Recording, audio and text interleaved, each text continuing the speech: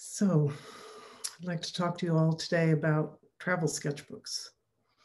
Um, I want to show you some examples of my sketchbooks, um, the variety of things that can go into it, um, the way that a sketchbook is holding experience, recording experience.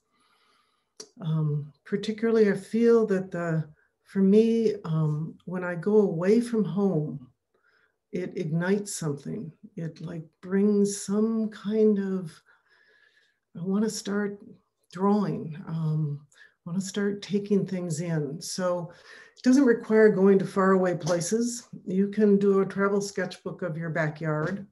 Um, but I think the, the crucial thing is that um, you are letting the world be the catalyst. You're letting something out there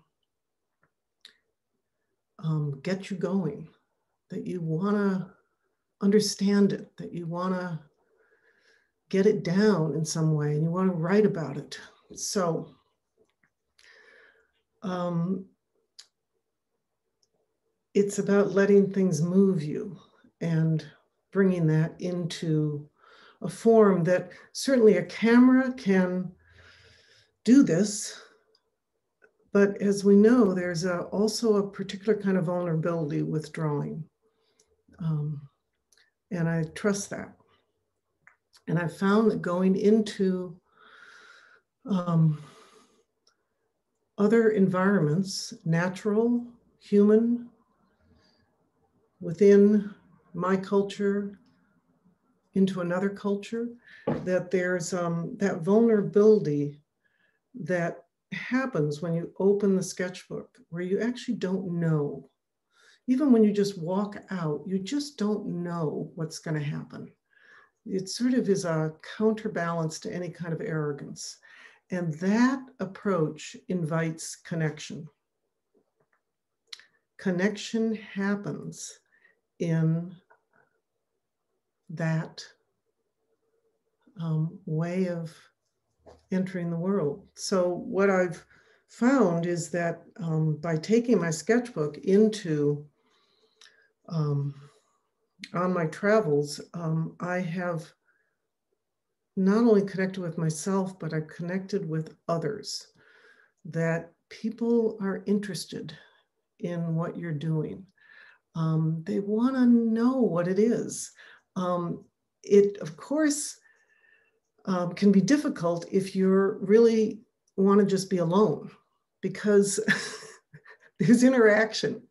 They people come around. It's like you're a magnet in some way. So it's a good way of working with boundary. You can always close your sketchbook and walk away, but to be able to engage with people and ask them questions about this sculpture that you're drawing um, because they may know something. They probably do know something. So there's a kind of dialogue that develops. And so when you travel, yeah, you want to let the world in, and the sketchbook is a vehicle for that. And basically, you are a magician. It's not about being a great artist and being able to do something really accurate. Um, you're bringing something from nothing and it's magic. and so you just trust that and um, uh, trust this as a way to see and a way to record one's experience. So I'm going to share my screen and um, show you some different ways of working. Um, so this is um, just trying to get rid of the hide floating. Okay, good.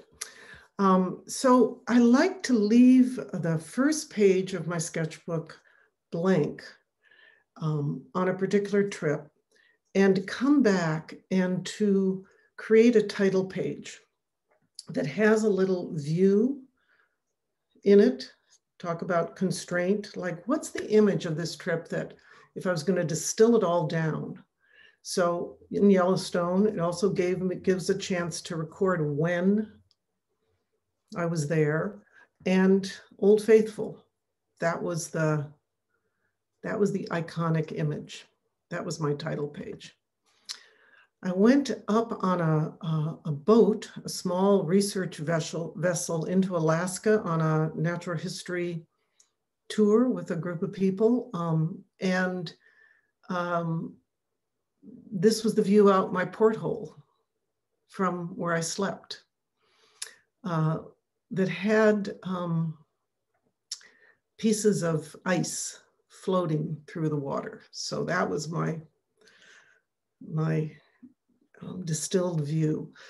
You're also going to see a number of pages from um, this sketchbook um, that had brown paper and was very convenient because there was a lot of snow. And so it allowed me to work with gouache and to be able to show the ice and the snow and the floating little icebergs and everything. This was the title page from my trip, one of a number of trips I've taken to Guinea. Um, and it felt like the elements here were the openness of the people, direct, really letting me in, the totally unusual and beautiful hairstyles, and the fabric that they wrapped themselves in and that I collected while I was there. So those three elements, and then also that um, I was speaking French. That's the second language in Guinea. And so I could give those two um, versions of the, the country, which means woman. The word Guinea means woman. So that's Guinea. Morocco took a tile and just zeroed in there and worked with the colors of that place the aqua, the ocean, the ochre, the, the gold, the teal.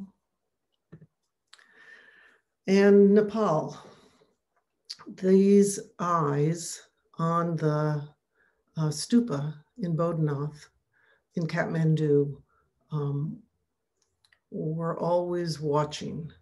It was a four-sided situation. So that was very obvious of what needed to be there. So think about that. Think about what encapsulates this class for you and, and give yourself a first page. If you've already filled the first page, you could just put a page on top of it, sort of tip it in and lift it up. So I've talked a lot about um, jumping the gutter. I'm going to show some examples of that. This was up in uh, an island off of Maine, and uh, the rocks were broad. So I'm working with pencil first, and then just kind of drawing with the brush as well, just following the edges, not being too careful about going right along the pencil lines. It's adding another element there. And then you can see that my writing also has a very stretched out quality, sort of like expanded like um, elastic. Here's another page from that trip up to Alaska where we went into a museum and um, this was such a huge mask that I couldn't possibly fit it on one page. And uh, so it was bold and um, powerful. And then the writing uh, could be on the diagonal you know, sort of sometimes we counterpoint the writing with the um, quality of the drawing, and sometimes we just emphasize it. So this had a very diagonal quality. Raven mask. Talking about the potlatch, how the, the richest person was the one who gave away the most, kind of a whole different sense of richness.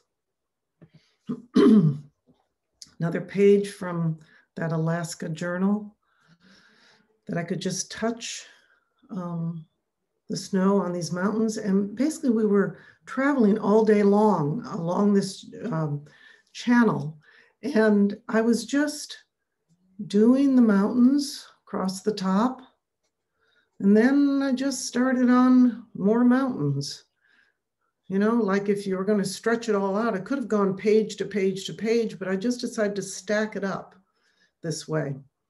And then just let the writing follow in the middle here. Mountains sliding past. Doing the same thing with clouds. Drifting by, different qualities and the water. So writing, drawing, painting, all sitting together on the page in kind of layers.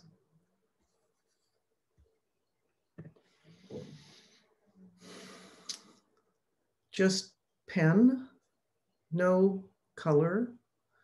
Started around one edge of this little bay where we were staying and just worked my way around and around and around, kind of a contour, a little more accurate. You can see I got into some architectural stuff here, but just really was tracing the edge of this bay and then placing the writing within the empty space. I think I ended up with this quiet at the center of it all right here. So kind of in the process of drawing brought me to myself.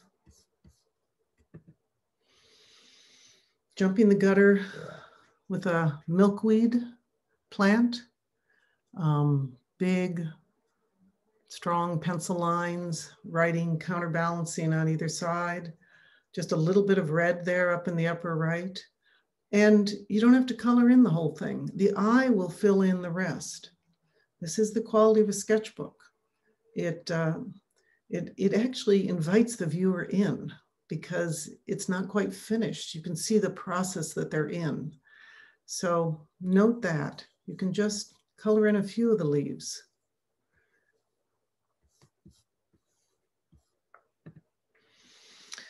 This was the engine room of the Catalyst. The Catalyst was the name of the boat that we were on up there in Alaska. And I called this the heart of the Catalyst. It was really complicated. All these pistons and, you know, who knows what. Well oiled machine. I couldn't possibly do it some kind of justice, but I decided that the way I could do it is I would only allow myself the amount of time it took for the machinist, Dave, to oil every part, which is what he did every day. So he did that in five minutes, and that's the amount of time I gave myself to do this quick, quick drawing. And then I probably later on said, okay, I'm just going to drop in some color. So, you know, sketchbooks are really direct on in the moment, fresh, and then you can extend it a little bit. I wasn't going to drop in the color in any kind of precise way, but I just worked five minutes on getting the elements and then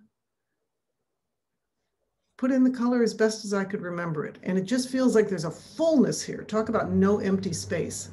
That's what it felt like. And that has a kind of an energy and vitality in itself.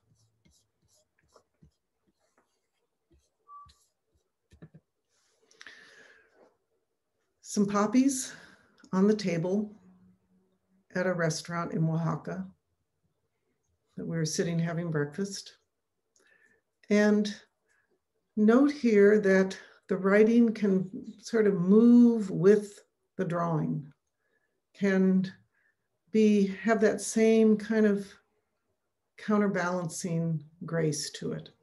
And clearly, as I'm working through the writing, starting up at the corner, a morning of frustration, slow service at the restaurant, when hungry, heading down to the Mercado, who knows? I'm, rec I'm recording a day. And by the time I got to the end, it was like a family, a country, a world, a person. It was like I kind of allowed it all to be there.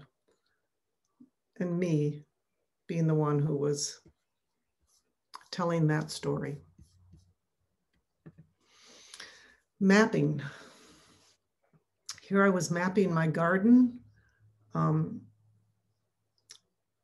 trying to remember, you know, recording all the things that I had planted there at the different seasons. I think I was doing this as I was getting ready to leave this house. So it felt like a poignant kind of recording of a space that I had created. Mapping of a day.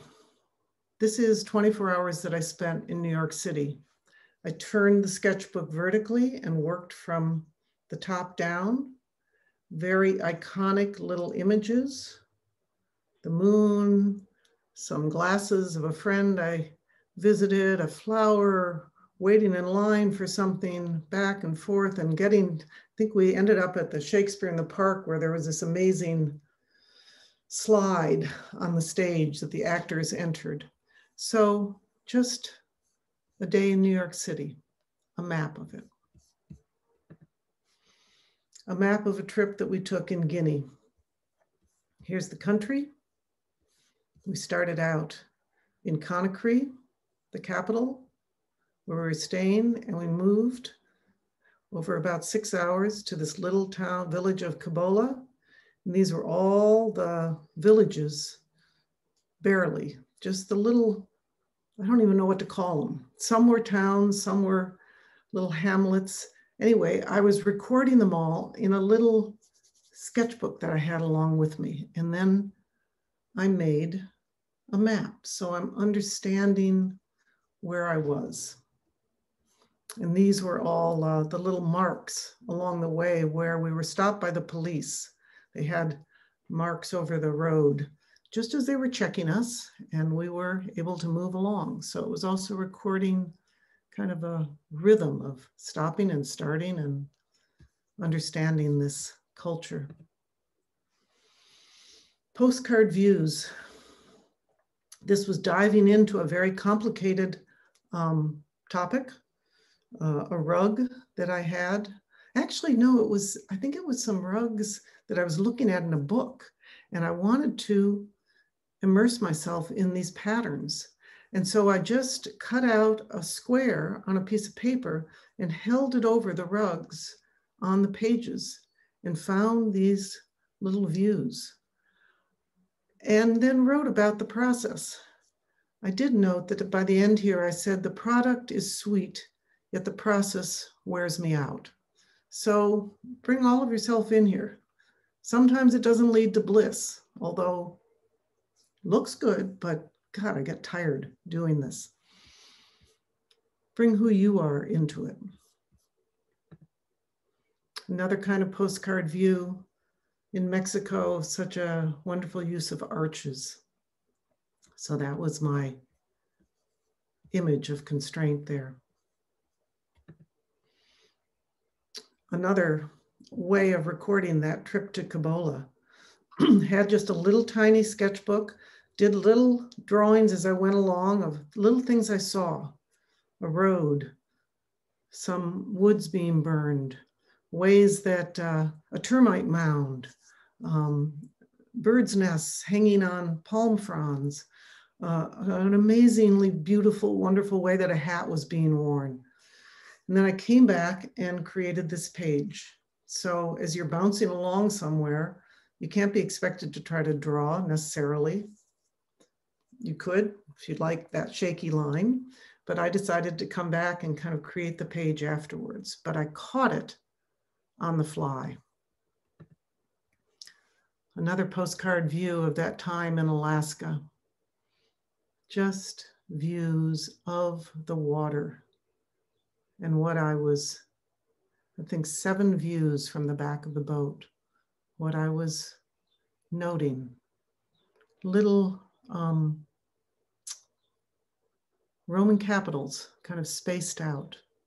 So, different ways of adding the words that kind of um, enhance the spaciousness of, in this case, the pen work with a little bit of um, color this was a, sometimes it's interesting to collect things, uh, collect images. And this was in India. And I became very interested in the marks that men and sometimes women, often women as well, the men had more complex ones, had on their foreheads. And it led me to this study of these different spiritual sects and what they how how each of them marked themselves each day it was like putting on it was getting themselves ready for the day was were these different kinds of markings and there was a wide variety of them. And so i started asking different um, teachers like to help me understand this and then began to do a diagram here of the different elements of, um, in this case, the Hindu um, philosophy, what the central elements were here, and then the wide variety of the creativity of how that was expressed.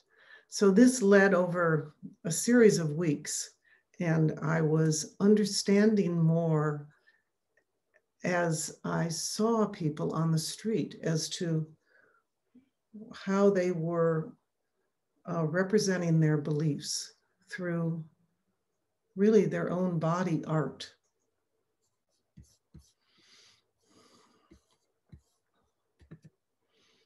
Here I was just, this was in Guinea, I was just writing down people's names as a way of getting some my own bearings of who was related to who and who was whose daughter and who was sisters and brothers and cousins and that they had susu names they had french names and they had um, um, and and and uh, and islamic names. So it was complicated and this gave me a way to understand it and then they saw their names written i was working just with those brush pens they loved it that there was their name. They were on the page. So I was both recording so that I could understand and I was honoring them in the beauty of these of many names that a number of them carried. Travel sketchbooks in museums. Going into the Metropolitan drawing these powerful objects that had been, um, that were no longer in those power spots, but were honored, illuminated. In fact, I gave them some illumination in the way I just put the gold around the images, uh, the divination objects, uh, the bird sculpture on top of a magic whistle calling the spirits. So, this is how one, as I said, falls in love, honors, respects the things of the world. And um, it's a whole other thing than taking a picture. There's a real relationship that happens here. And I believe that objects like this are still speaking and perhaps appreciate someone standing there for a long time really exchanging with them. You know, when you draw, you hang out there. It's the same in the in the zoo. You're not just going through one after another. You're the animal actually notices that you're staying there and they get interested. So it's um it's slowing us down. Here's some animals. Um, buffaloes, out in southern Colorado. Uh, they weren't in the zoo. Uh, they were crossing the road. And I only had the amount of time that it took for this group to cross the road. I, again, dropped in the color later, but I was just, I mean, they were moving slow, but still they were moving. And so they were moving, yeah, crossing the road slowly. Um, some of the big bulls stop in the middle of the pavement and the cars wait. Nobody rushes a bison. So that caught a moment. And see how just leaving a little light here is that sense of sunlight hitting a form. You always watch for that when you're putting color in. Leave the place for light to occur and don't fill in everything. Here they are just walking away.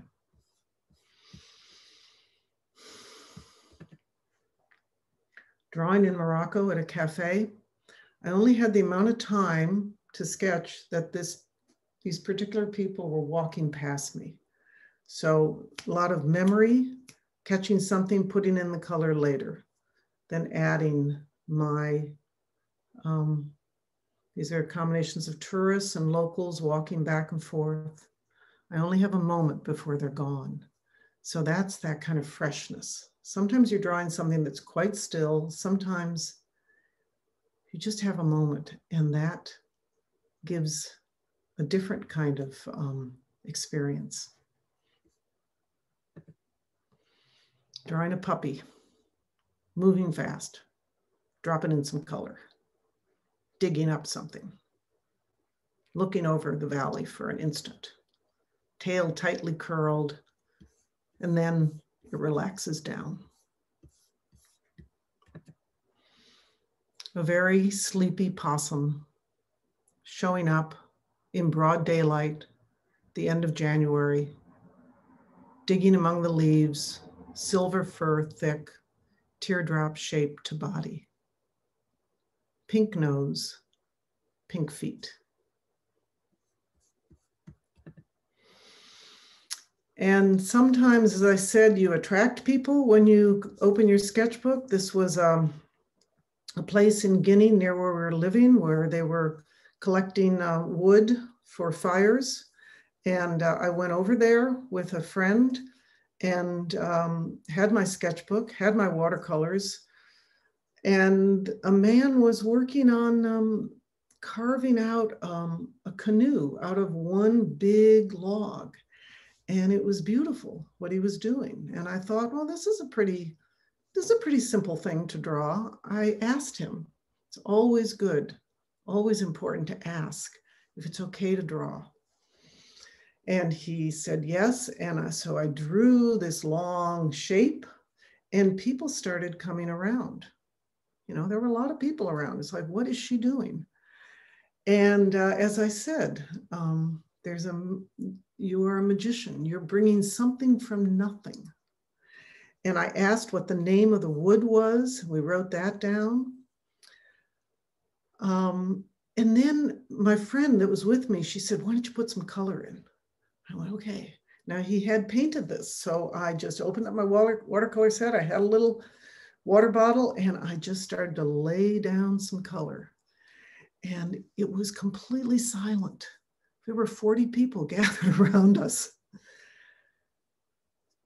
And I finished it. I hadn't done any writing. And suddenly the police showed up. I had not asked permission to have a gathering. And they were not okay with this gathering. And I quickly apologized, I showed them what I'd done, um, and handed them some money to thank them and to the, the man who had made the boat, and everything dispersed. Everyone just went back. But it was that moment of gathering that I'll never forget. And I have the record of it. And I have the story of it. Salafu Conte, I think that was the name of the boat, and the Bois de Banquet, the name of the tree that it's from.